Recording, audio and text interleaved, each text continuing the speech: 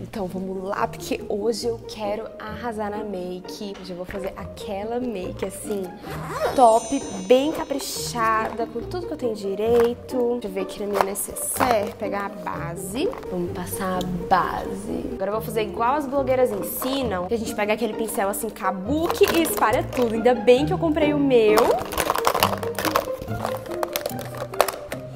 Cadê esse pincel, gente? Peraí, cadê meus pincéis? Dito que eu esqueci os meus pincéis. E agora, como que eu vou espalhar tudo isso? Como que eu vou fazer aquele esfumado lindo? Como que eu vou colocar o glitter? Como que eu vou espalhar o corretivo? Não! Pera, pera, pera, calma, sem desespero, respira fundo. Calma que pra tudo tem um jeito. No vídeo de hoje a gente vai fazer uma maquiagem completa sem usar pincéis.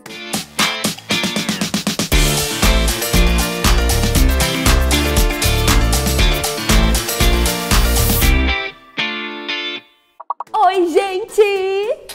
Sim, é isso mesmo que vocês viram. No vídeo de hoje eu vou fazer a make inteira usando os dedos, sem usar pincel. Esse foi um vídeo muito pedido por vocês ali nos comentários e eu decidi aceitar o desafio. E esse vídeo serve tanto pra você que não tem tantos pincéis em casa e às vezes fica meio perdida sem saber como fazer, como aplicar o produto, como esfumar, enfim, como substituir aí caso você não tenha pincel, quanto pra você que passou por uma situação aí parecida de chegar num lugar e ver que esqueceu todos os seus pincéis de maquiagem. Ainda não aconteceu isso comigo numa viagem, mas sempre que eu viajo eu esqueço alguma coisa. Talvez chegue um dia que eu esqueça os pincéis, daí eu vou poder usar esse vídeo como inspiração.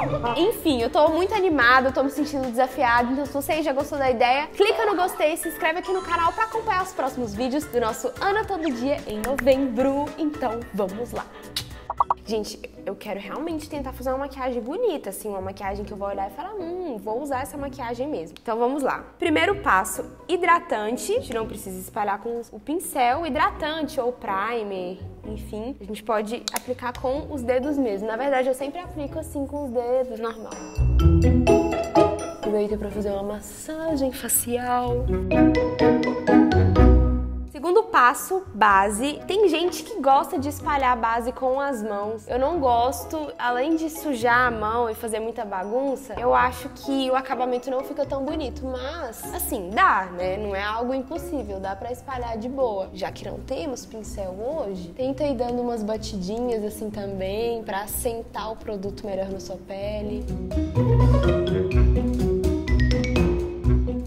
Acontecendo uma coisa. Olha aqui, gente, tá esfarelando tudo. Porque quando a gente espalha com as mãos, a gente querendo ou não faz assim, né? Pera aí que a gente vai dar um jeito.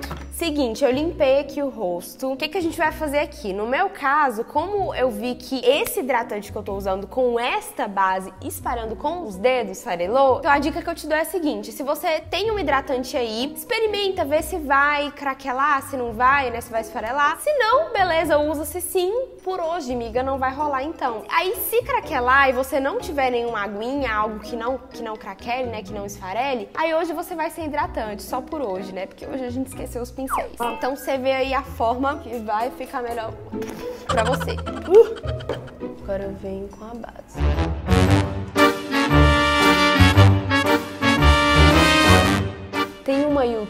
Youtuber, a Alice Salazar, provavelmente vocês conhecem. Ela é fera na maquiagem e ela só gosta de aplicar a base com os dedos. Assim, ela sempre aplica a base com as mãos, não usa pincel e fica incrível. Ela parece que já tem um jeito assim e é prática, né? Quando você gosta de uma coisa e começa a fazer essa coisa sempre, você vai tendo mais prática e aí vai sempre dando certo. O que no meu caso eu não gosto de usar as mãos é que eu sinto que a pele fica mais oleosa, né? Então o, pincel me ajuda nessa questão.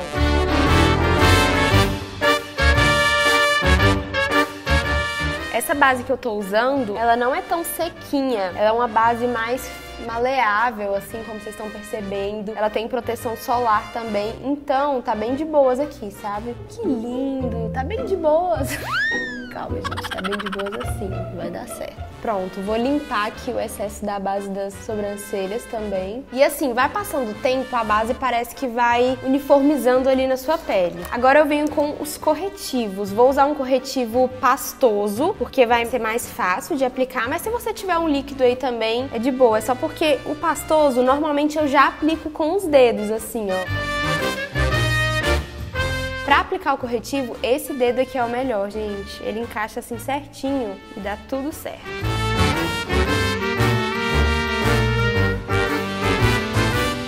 Vou vir com o corretivo líquido só pra cobrir né, o amarelo desse corretivo pastoso. Agora eu venho com esse outro pincel. Cada dedo é um pincel agora, cada um com a sua função. Gente, uma dica é sempre dando batidinha, sabe? Da mesma forma que o acabamento com o pincel dando batidinhas fica bonito, com os dedos também fica melhor, sabe?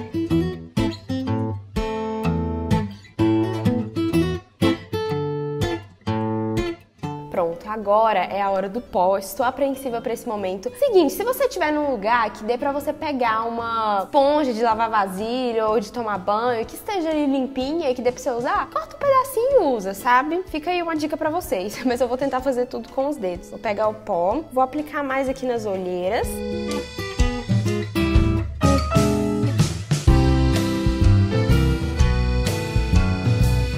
inventou os pincéis de maquiagem, meus parabéns. Não tá fácil, não. De longe, até que engana, mas de perto, gente, a maquiagem não fica com um acabamento legal. Beleza, por enquanto eu vou selar só aqui mesmo, na região dos olhos. Agora a gente vai corrigir as nossas sobrancelhas e ainda bem que eu trouxe na minha necessaire um lápis pra corrigir as sobrancelhas, então eu não preciso de pincel. Gente, sério, é impossível corrigir a sobrancelha sem um pincel. Eu já tentei gravar esse vídeo aqui uma vez, um tempo atrás, e não rolou. E eu lembro que eu não, tipo, não dava pra corrigir a sobrancelha. Eu até tentei usar palito de dente, grampo de cabelo eu usei. E dá certo. Se caso você tiver aí e não tiver o pincel, dá pra dar uma enganada. Mas às vezes é melhor nem corrigir a sobrancelha, sabe? Mas como eu tenho um lápis aqui, eu vou usar ele.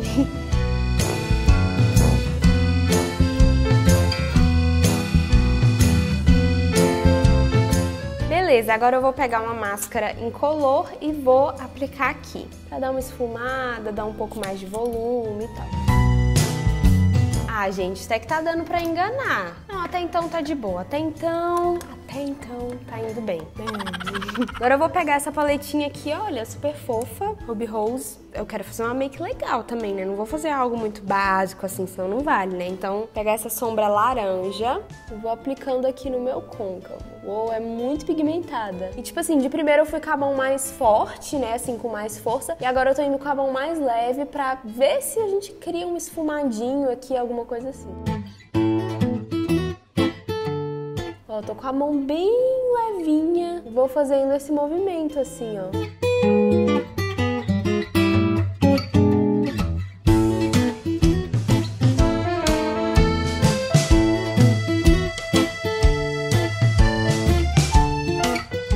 Apelei, eu já tô fazendo assim, ó, só esfregando isso mesmo.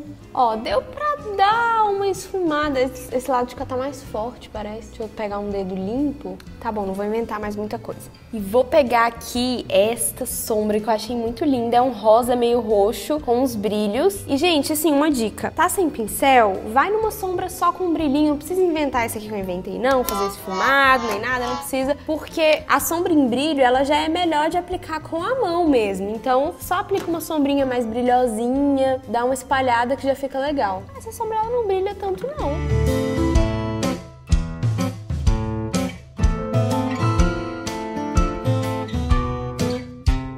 Talvez eu tenha estragado tudo. Voltar com o corretivo pra gente dar uma corrigida aqui.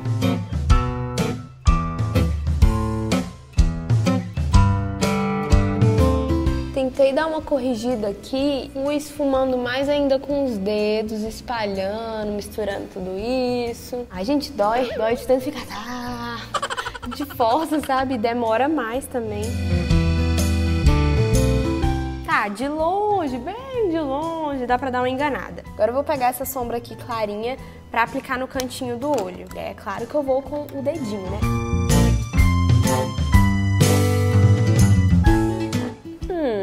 Que esse aqui foi o que mais deu certo. A dica, coloca a sombra assim, faz assim, depois... Ui, que contorcionismo! Depois vai assim, ó. Difícil? Ah, tá dando certo. De longe disfarça muito. Agora eu vou pegar uma outra sombra bege brilhosinha e vou aplicar abaixo da sobrancelha.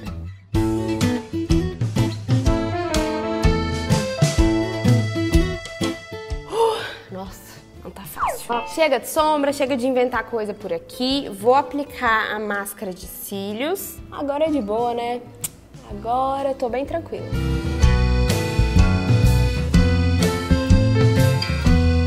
Vou aproveitar essas sombras opacas aqui, que tem uma amarelinha, assim, bege, e uma branca. Vou fazer uma misturinha só pra aplicar aqui nas olheiras, pra dar uma limpada, assim, no olhar, sabe? Pronto, olha, a gente tá dando pra disfarçar, hein? Tá dando certo até.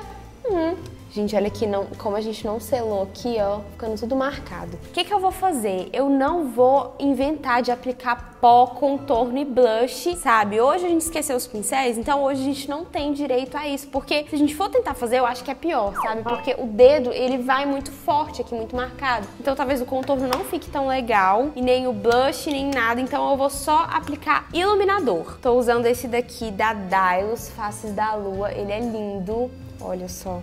Então, assim, a pele vai ficar só naquele glow mesmo, sabe? Mas se você aí quiser arriscar, eu não dou conta muito não. Então eu vou fazer aqui o que eu consigo e que eu acho que vai ficar legal também, que é aplicar o iluminador. Eu acho lindo o brilho desse iluminador. Eu postei uma make lá no Instagram usando no esses novos iluminadores. E olha esse brilho, gente. Parece que o brilho vem de dentro, assim, não sei, fica um glow é mais sutil, assim, não sei explicar. Muito lindo. Isso empolga, passa até lá no olho. Tá, tá bom. Agora é a hora do batom, que é uma hora feliz, né? Que a gente sabe que vai dar certo. Vou usar esse aqui, é a cor 09. Esse batom é maravilhoso. Muito chique. Ele é um marrom mais cinza, mais roxinho. É marrom, é cinza ou é roxo? Não sei. Vem aí o que, que vocês acham